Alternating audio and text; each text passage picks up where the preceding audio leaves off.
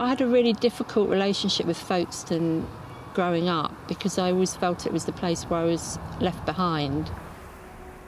I was born in Folkestone, but I was also adopted here.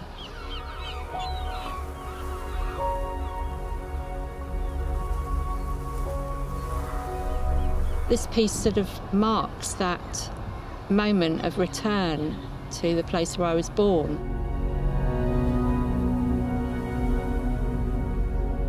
For me as an artist, that's really interesting to come back to the place where you were created. Green Light is really a self portrait, and it's my attempt to marry together different aspects of myself both the urban adult that I am now and the rural child that I was.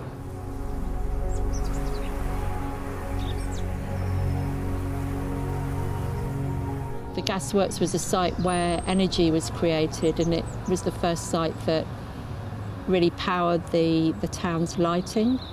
So, this place that was once redundant, I hope I've in some ways brought it back to some kind of life.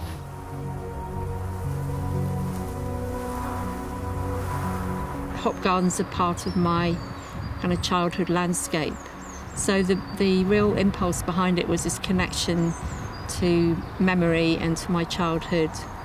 So you can see that whilst it's a hop garden, there are some very modern, kind of futuristic elements to it.